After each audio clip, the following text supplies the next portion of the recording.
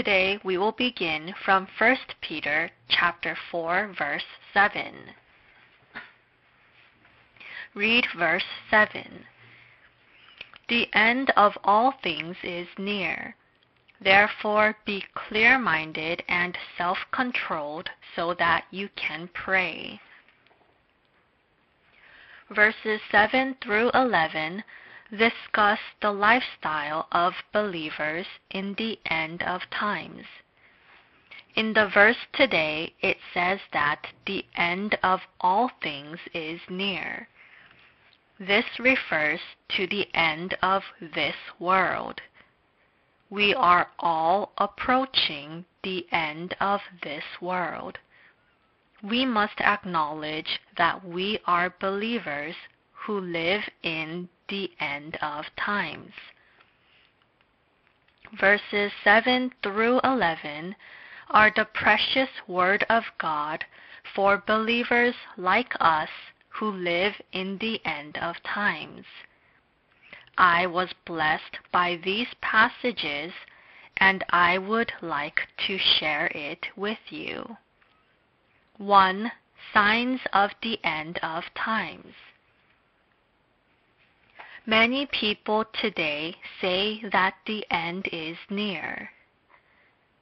The verse here tells us that the end is near, but what tells us that the end is near? The signs show that the end is near. There are many signs that show that the end is near. One important sign of the end of times is the restoration of Israel. It says that the twigs of the fig tree get tender and its leaves come out. Matthew chapter 24 verse 32. The people of Israel were scattered throughout the world and they returned to their homeland, and the nation was restored. This is the sign of the end of times. Another sign is the spreading of the gospel to the ends of the earth. Today we can say that the gospel has almost been spread to the ends of the earth. Of course, there are nations that have not been evangelized. Yet, in a general sense, the gospel has nearly been spread to the ends of the earth. It says that the gospel will be spread to the ends of the earth before the world comes to an end. This sign is being fulfilled right now. Another sign is the increase in numbers of false prophets. Matthew chapter 24 verse 5. The disciples asked Jesus. They asked, What will be the sign of your coming and of the end of the age? Jesus replied, Watch out that no one deceives you. Also in Matthew chapter 24 verses 23 and 24, it says that many people will deceive others. The age we live in is filled with deceptions. There are many self-proclaiming Christs and many people are teaching the Bible incorrectly. There are many false prophets in this age, and we can see that it is the end of times. Many false prophets corrupt the church. Another sign is that love is growing cold. In Matthew chapter 24 verse 12, it says that because of the increase of wickedness, the love of most will grow cold. Truly, in the end of times, love will grow cold and people will be more wicked. Their love grows cold because they do not want to make sacrifices for others. Their love grows cold also because they need to discern who the false prophets are. However, the love of believers must not grow cold in the end of times. Even though the world we live in is wicked, and even though there are many temptations of false prophets, we must be discerning and not be deceived. We must also continue to love. Another sign of the end of times is that many will go here and there. Daniel chapter 12 verse 4. How easy it is today to go from one place to another. Trains and airplanes have become fast and people can go from place to place quickly. Indeed, there are benefits of moving quickly from place to place, but it is also the sign of the end of times. Matthew chapter 24 verse 7 says that nation will rise against nation and kingdom against kingdom. There will be famine and earthquakes in various places. How common are earthquakes and famine?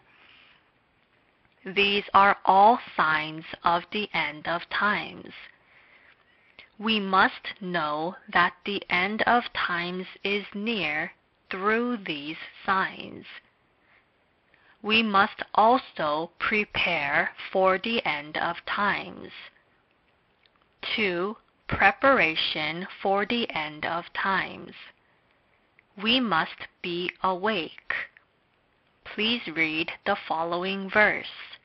Verse 7. The end of all things is near. Therefore be clear minded and self controlled so that you can pray. It tells us to be clear minded. That is how we can prepare for the end of times. What does it mean to be clear minded? It refers to the awakening of our faith. If our faith is not awake but is asleep, we are not clear minded. A person who is awake is a person who is clear minded. We must realize that we are living in the end of times. Those who are not clear minded cannot discern the times. They are drunk in this world. However, a clear minded person can discern the times. The end is near, the end of this world is near. Only those who know this are clear minded. We must have clear minds. We must be awakened. We must keep our faith by understanding that this is the end of times. Second, we must be self controlled. It says in verse 7 be self controlled. This refers to overcoming the self by controlling one's desires. In the end of times, everything is abundant. All things have been developed. Due to the development of science, culture, physical education, and all other things, everything is abundant. It is easy to live in dissipation because of the abundance of things. Those who live in dissipation cannot prepare for the end of times. Anyone who does not live in dissipation can prepare for the end of times. One is self controlled when he overcomes himself. To overcome oneself means to stray from dissipation. It also means to get rid of debauchery. We must be clear minded and self controlled so that we can prepare for the end of times. 3. Lifestyle in the end of times. How should we live in the end of times? This is what believers must do in the end of times. In verse 7, it says, Pray. We must pray in the end of times. We must strive to pray. Why must we strive to pray in the end of times?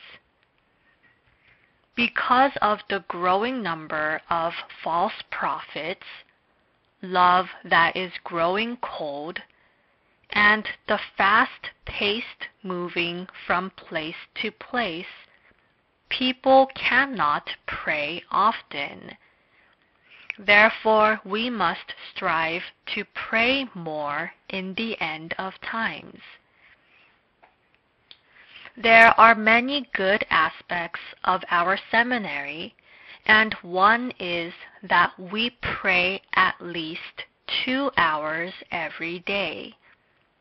We also read at least 10 chapters of the Bible every day. I too have prayed more than two hours every day and read 10 chapters of the Bible after entering this seminary. We must really pray hard in the end of times.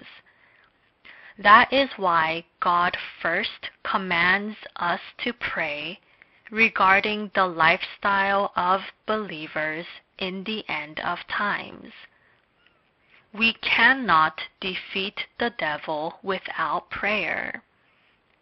The devil knows the end times. He knows his time.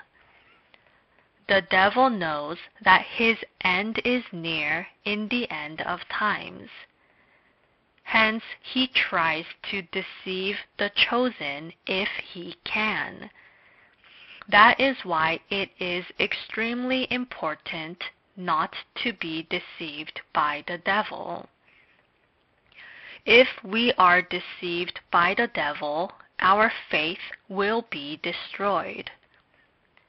Among the many signs of the end of times is the increase in number of false prophets there will be many who claim that they are Christ. They are all deceptions, and without prayer we cannot discern them and overcome the devil. The first thing we must do in the end of times is pray. We cannot emphasize prayer enough. Yet, unfortunately, there are more believers who do not pray than those who do pray. Therefore, this world is dark, even though there are many believers. Prayer has many functions. We must pray diligently so that we would receive power and defeat the devil, and we must carry out our calling as the salt and light of this world. Another duty of a believer in the end of times is to love. Verse 8 Above all, love each other deeply, because love covers over a multitude of sins. It says that we must love each other deeply. We must love each other deeply. There is a book that says the following We cannot simply love with our hearts. We can love when we practice love. Based on my experiences, this is true. We say that we love, but in many cases we cannot love because we have not practiced love. We cannot give because we have not practiced giving.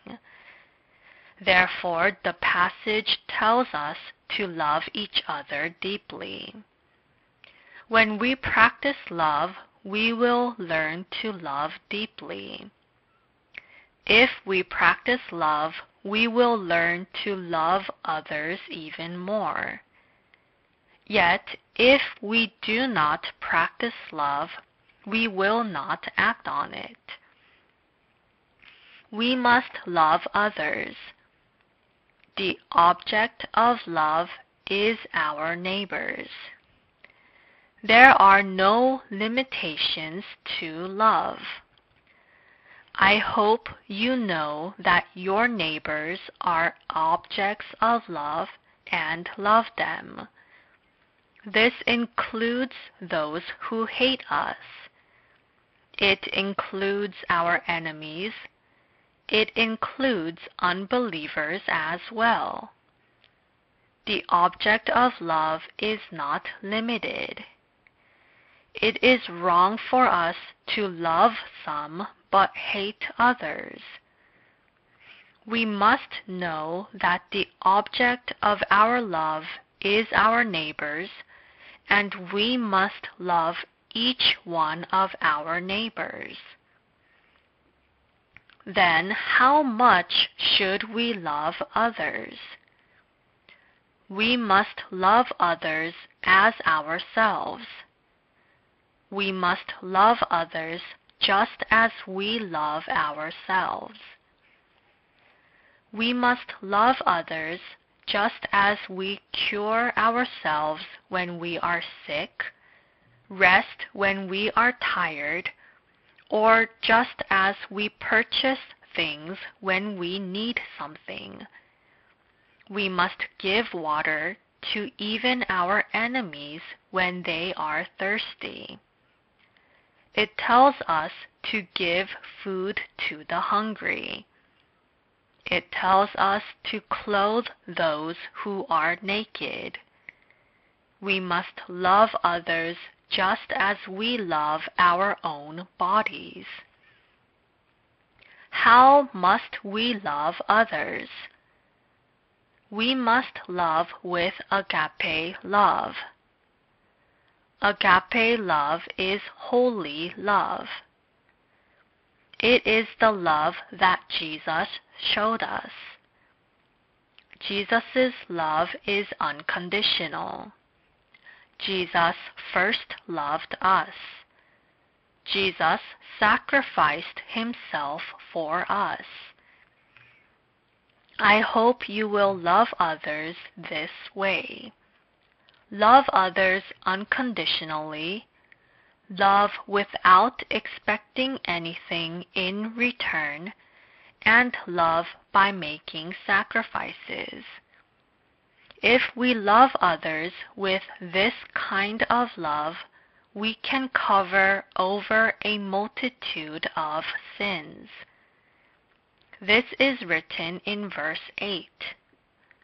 Love covers over a multitude of sins. Seeing the flaws of others is proof of lack of love. We cannot see the flaws of others if we truly love them. We can also cover their flaws. Love will truly grow cold in the end of times. We must understand the agape love of the Lord and love our neighbors just as we love ourselves. Next, regarding the lifestyle of believers, offer hospitality. Verse 9 Offer hospitality to one another without grumbling. We must offer hospitality before others do. We must offer hospitality to one another. Faith is to act first. Faith is to ask for forgiveness after quarreling with others. Faith is to act before others. If we offer hospitality first, forgive first, love first, and act before others do, everything will go well for us. Yet we want others to treat us well first. We want to receive hospitality. We want to receive love. Thus, the passage says, without grumbling. Where does grumbling come from? Grumbling comes when we want to receive hospitality and love. If we offer hospitality to others, our hearts will be filled with thanksgiving. However, if we want to receive hospitality, our hearts will be filled with grumbling. Next, we must serve others. Verse 10 Each one should use whatever gift he has received to serve others, faithfully administering God's grace in its various forms it tells us to serve others. Here it says, use whatever gift he has received. We have all received gifts. There is no believer who has not received a gift. Therefore, in that sense, all believers are needed in the church we must serve others with the gifts we have received. Those who have received wealth must serve with their wealth. Those who have received wisdom must serve with wisdom. Those who have received skills must serve with their skills. God gave each individual a gift so that they would serve others with their gifts. That is why I too strive to serve others as the passage tells us to. When I go home, I serve in my home. When I go to church, I serve at church when I go to prayer centers, I serve there, And when I go to the gym, I serve there at the gym. I find ways to serve wherever I go. Then I serve there. In the passage, it also says, faithfully administering God's grace. This means that we must be stewards who have been put in charge of our Master's things.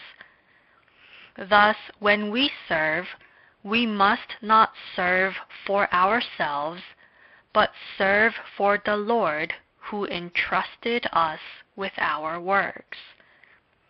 We will be wicked stewards when we work for ourselves, and we will be good stewards when we work for the Lord. We must serve as stewards when we serve. Stewards also do work that is appropriately given them. This means that we must not expect rewards after we serve. We must work without rewards. Serving itself is faith. Serving others is God's blessing. Isn't it a blessing to serve others when other people can't? Therefore, I pray that you will serve diligently when God gives you the opportunity to serve. You might say that you have nothing to serve with, but anyone can serve. A widow offered God two coins. A child served with five loaves of bread and two fish. Hence, we believers in the end of times can also serve. We all live to serve.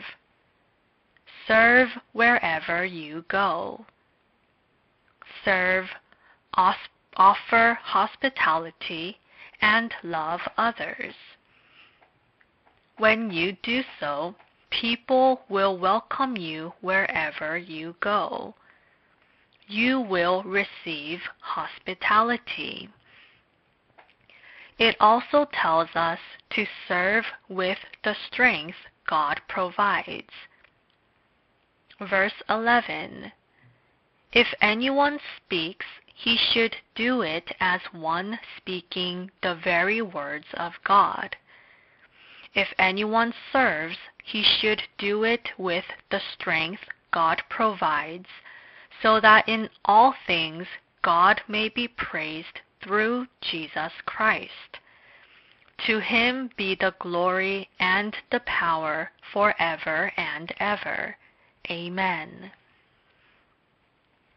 There are many people whose faith have been tested while they served in the church. How can a believer be tested while doing God's work? How can a person be tested while serving in the church? How can born again believers be tested while serving together? Yet in the church there are many people whose faith have been tested. Why are believers tested while serving God? That is because they did not serve with the strength that God provides. Generally, there are many times when we say, I am tired, while we serve. I am so tired. People grumble and their faith is tested because they think the work is difficult. However, if they serve with the strength that God provides, they would not be tired. Then how do we know if we are serving with the strength God provides. We must understand that God entrusts us with the work we do when we serve. Let's say that I serve by washing church vans. God entrusted me with this work. I pray to God with this mindset. God, give me strength to wash these cars. Then I would diligently wash the cars. Then, when I am done, I would pray again. I was able to wash the cars with strength from God. Thank you, God, for using me. Then we would serve without knowing how tiresome the work was. After we serve, we will thank God.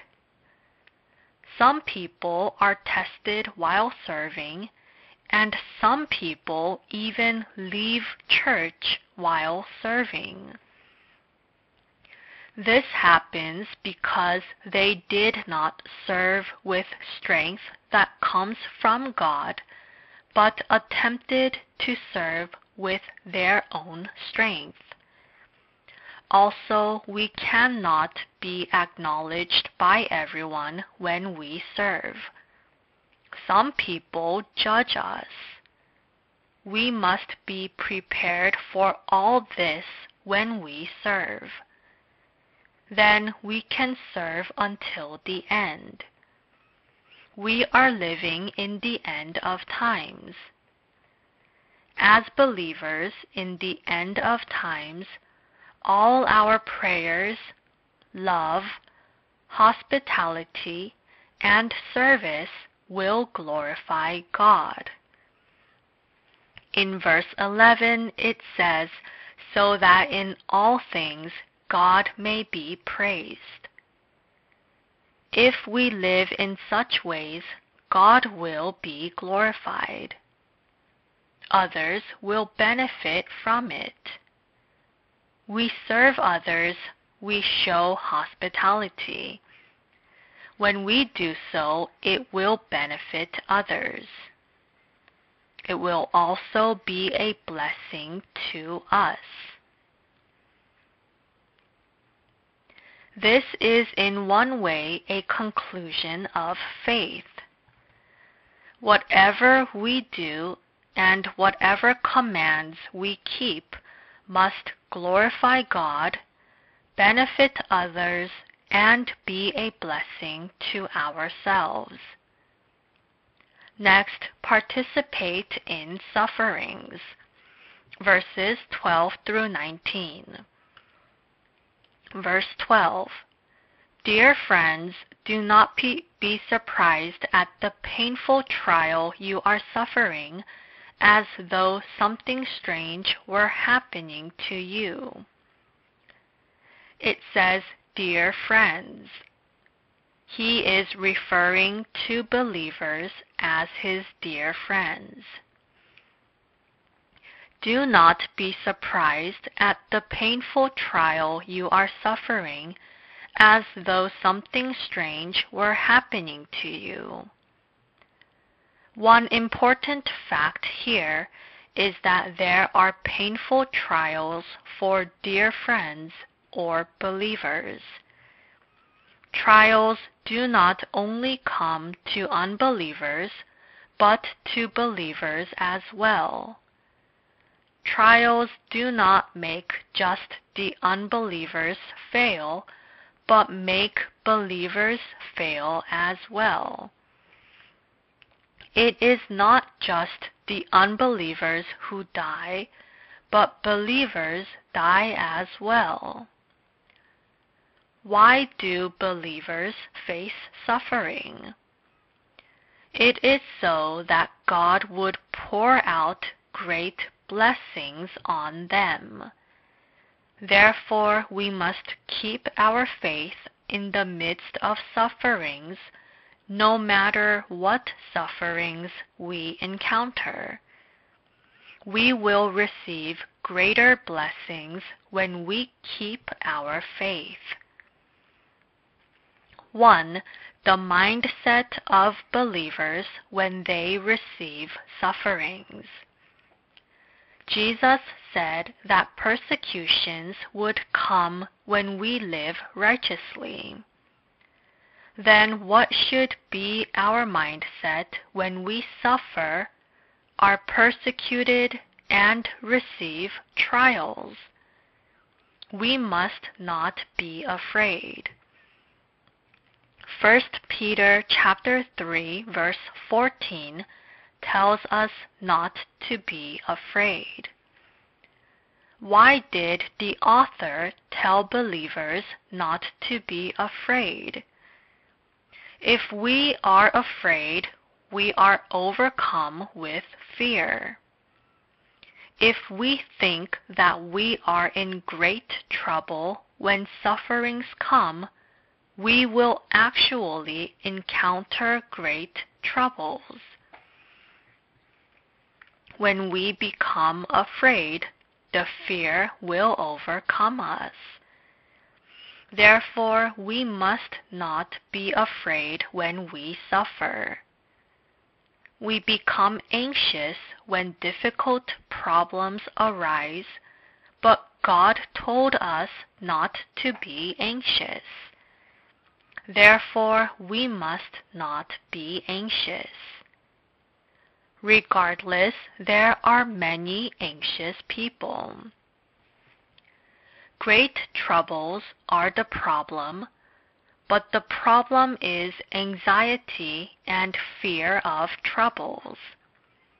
We must not be anxious or be afraid when we face troubles or receive sufferings. If we completely rely on the Lord and trust God, He would help us overcome it all. Also, it says, Do not be surprised as though something strange were happening to you. Why is God testing me? Does God hate me? Does God not love me? That is not the proper mindset of a believer. When sufferings come, we must not be ashamed. In the text today, it says, Do not be ashamed. Please read verse 16. However, if you suffer as a Christian, do not be ashamed, but praise God that you bear that name. Why does it say that we should not be ashamed? This is because sufferings come to those who desire to live righteously. Sufferings, hardships, and trials show that we are living righteously. It is proof that we are walking with the Lord. Hence, we must not be ashamed. Instead, we should be thankful and rejoice. In Matthew chapter 5 verse 12, the Lord tells us to rejoice when we receive sufferings.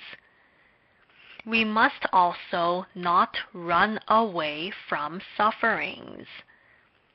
It is easy to want to run away when we face sufferings.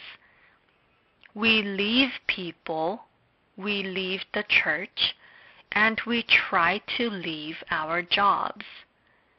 This is not the proper attitude of believers.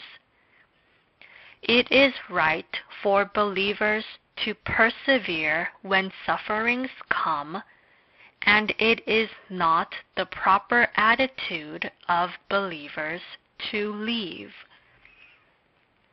If we do not leave but persevere and carry out our duties when sufferings come, there will be better days. Next, it says participate in the sufferings. It says participate in the sufferings. 2. Reasons to rejoice in sufferings.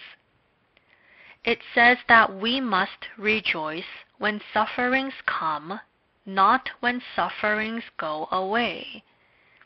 We must rejoice over greater sufferings than lesser sufferings. Why should we rejoice when sufferings come? It is because when we suffer, we participate in the sufferings of Christ. We also rejoice because there will be joy when Christ returns.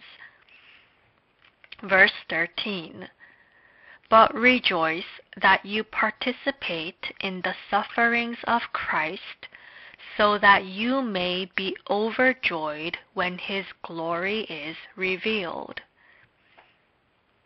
If we suffer while obeying God's word, we participate in the glory of Christ.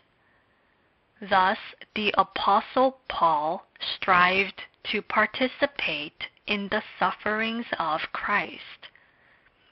Christ's power will be upon us in the amount of our participation in Christ's suffering. Also in verse 13 it says, so that you may be overjoyed. If we suffer while keeping our faith, we will participate with joy when the Lord returns. We participate in the glory of Christ through sufferings. Verse 14 If you are insulted because of the name of Christ, you are blessed, for the Spirit of glory and of God rests on you. Just as God glorified Jesus, he will glorify us too if we keep our faith in the midst of sufferings. 3. Sufferings of Judgment. Verse 17 for it is time for judgment to begin with the family of God. And if it begins with us, what will the outcome be for those who do not obey the gospel of God? Judgment comes from the family of God family of God refers to the church. Why does judgment begin from the family of God? It is so that God would save believers and judge unbelievers. Verse 18 And if it is hard for the righteous to be saved, what will become of the ungodly and the sinner? There is no place for sinners and unbelievers to stand. They will receive judgment and judgment alone. They will receive judgment and go to hell to receive eternal punishment. Verse 19 So then, those who suffer according to God's will should commit themselves to their faithful Creator and continue to do good. How can we keep our faith when we receive sufferings? If we commit our souls to God and fulfill God's will, we can keep our faith. With this, we will conclude the sixth lecture on 1 Peter. Thank you.